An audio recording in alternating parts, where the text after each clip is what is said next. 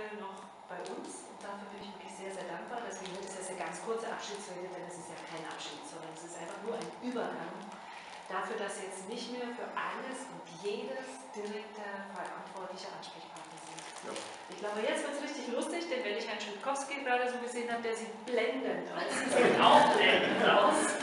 Dass das so bleibt, dafür hat sich die BTV ein bisschen was überlegt, denn wir haben natürlich jetzt so ein bisschen gedacht, was Sie wohl jetzt außerhalb der Zeit, die Sie hier im Theater oder im Chorhaus verbringen, werden sonst noch alles gerne tun. Und ich denke, da werden Sie was finden, was Ihnen Spaß macht. Natürlich auch nicht. Ja? Also vielen herzlichen Dank und ich freue mich, dass Sie weiter hier sind. Dankeschön.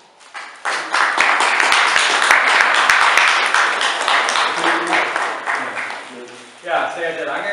Als Vertreter des habe ich ja schon Dankesworte gesagt, aber jetzt bin ich als Vertreter des Aufsichtsrats von Herrn Sacher hier.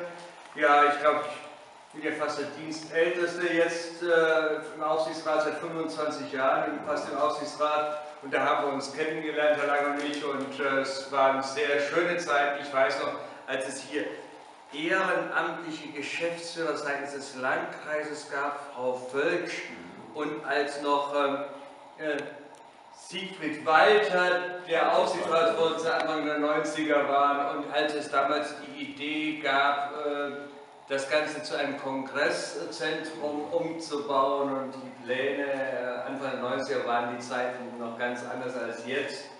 Ja, es waren immer schöne, aber auch viele, viele schwierige Zeiten.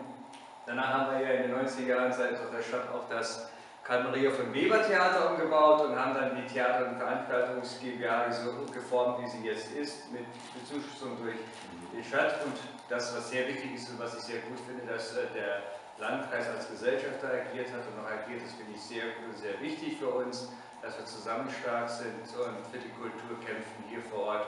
Und da haben Sie uns auch immer unterstützt mit allen den Geschäftsführern, unter denen Sie auch schon gearbeitet haben in den letzten Jahren. Sie sind ja eine Institution hier, Sie kennen jedes Knöpfchen, jede Schraube, alles hier in diesem Hause. Und äh, Sie werden ja weiterhin das Haus über den Kader und die vielen Institutionen weiterhin darf das betreuen zusammen und wir werden es öfters in der Gorner sehen. Dann können Sie Ihren Gartenplatz, der habe von Experten gehört, sie ist winterfest, die Pflanze, also auch bei Neubonner geeignet. Ja. Ich wünsche Ihnen alles, alles Gute im Namen von Herrn Sacher, ausdrücklich nochmals alles, alles Gute. Vielen Dank für die angenehme, gute Zusammenarbeit und weiterhin viel Spaß in Bernburg bei der Kultur und bleiben Sie der Kultur treu weiterhin, das ist wichtig. Ja? Danke.